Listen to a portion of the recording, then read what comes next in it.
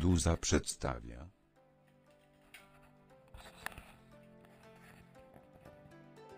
Film z cyklu Wyprawy Teamu Meduza Wildschutz Po podróży, nocy pełnej przygód oraz po wspaniałym śniadaniu, nurkowie przygotowują sprzęt na pierwsze nurkowanie w kamieniołomie Wildschutz. Kamieniołom Wildschutz zapożyczył nazwę od miejscowości, w której się znajduje. W latach 1862 do 1971 wydobywano tu granit. Szczytowe wydobycie wynosiło aż 100 tysięcy ton rocznie.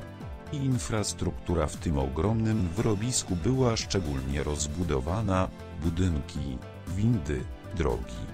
Po zakończeniu użytkowania kamieniołom wolno wypełniał się wodą, co dało szansę drzewom i krzewom na obrośnięcie niecki. Ma to swoje znaczenie podczas nurkowania.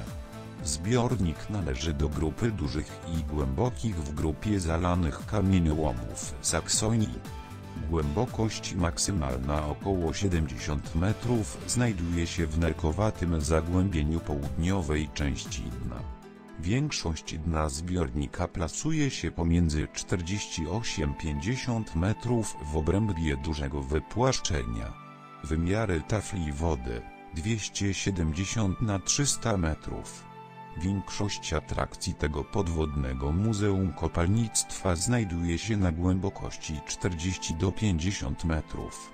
Należą do nich budynek przepompowni, bunkier, ogromna konstrukcja windy do transportu urobku, szeroka droga częściowo okalająca Nieckę na głębokości około 48 metrów i biegnąca w kierunku platu na 50 metrów i do windy wydobywczej.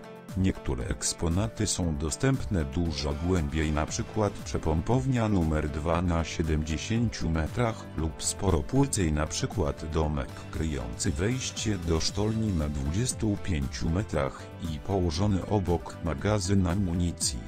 Wiele punktów połączonych jest dość dobrze oznakowanymi, stałymi poręczówkami co ułatwia nawigację. Wejścia do wody są komfortowo urządzone podobnie jak miejsca do klarowania sprzętu.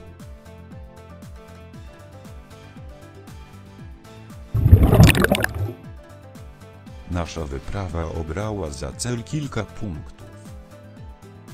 W pierwszym dniu popłynęliśmy w prawo zaliczyć podwozie wózka transportowego oraz mały motorower.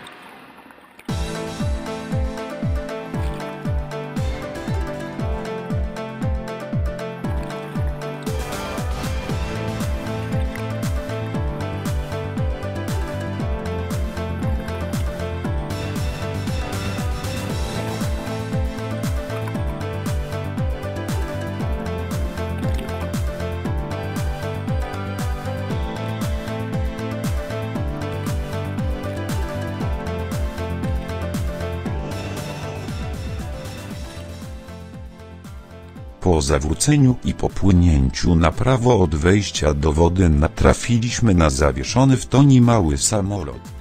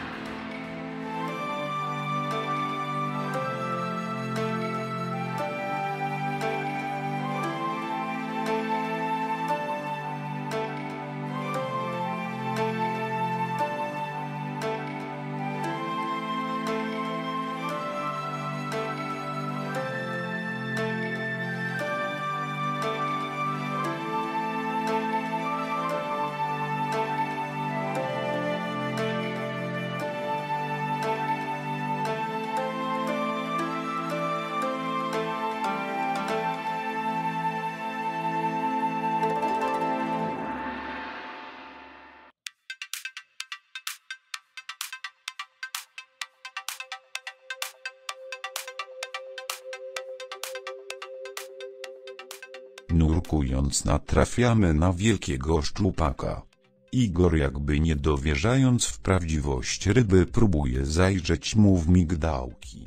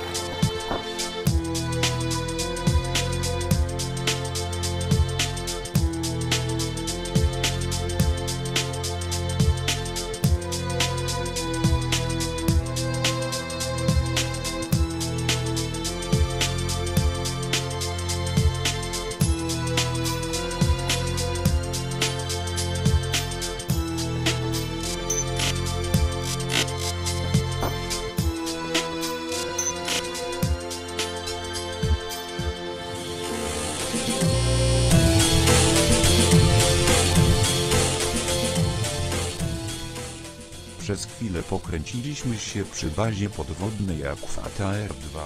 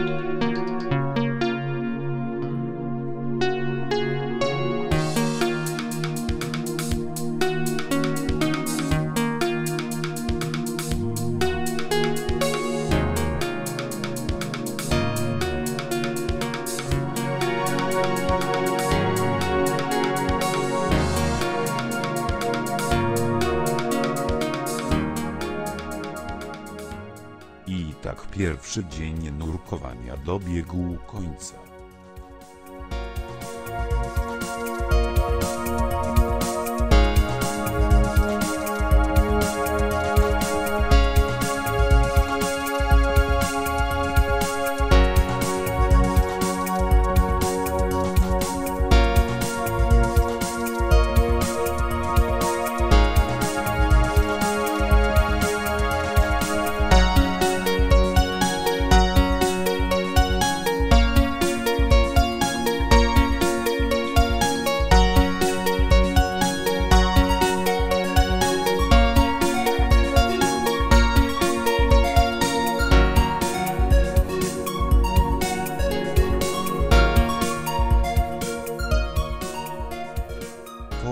Przespaniu nocy w komfortowych warunkach oraz obfitym śniadanku, ruszyliśmy na nurkowanie.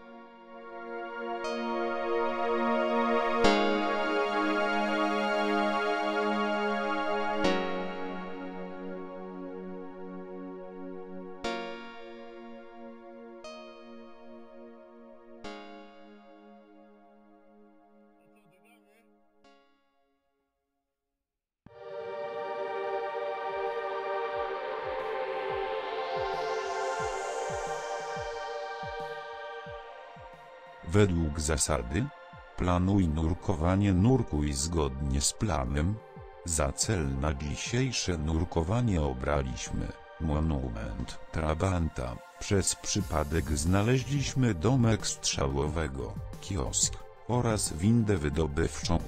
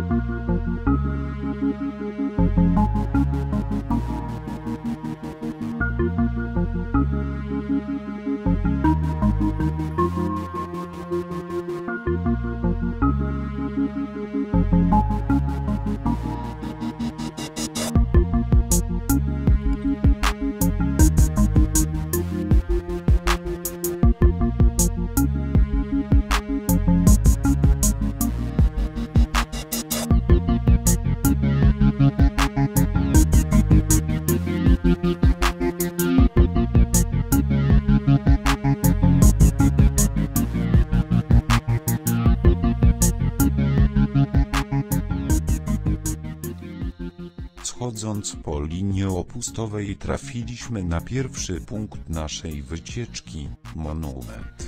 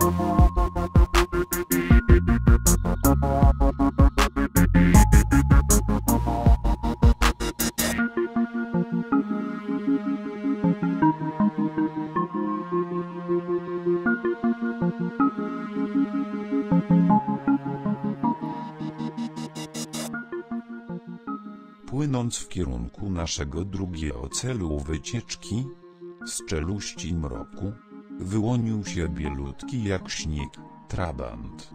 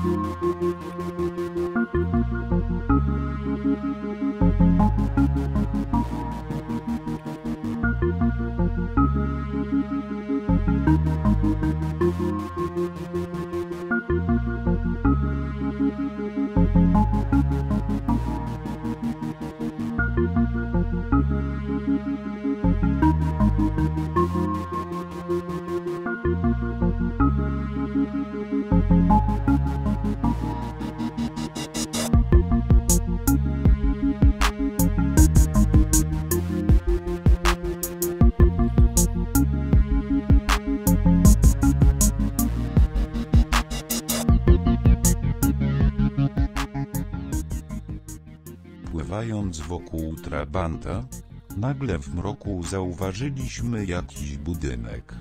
Był to domek strzałowego, na który przez przypadek trafiliśmy.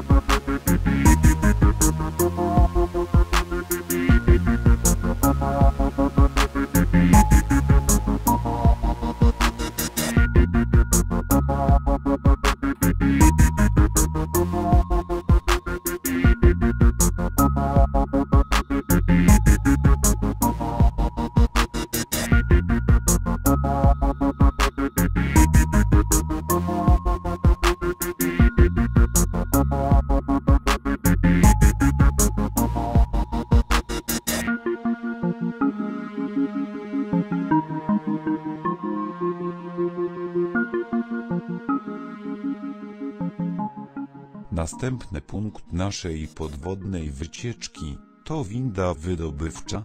Przy niej poczuliśmy się jak kryl przy wielorybie.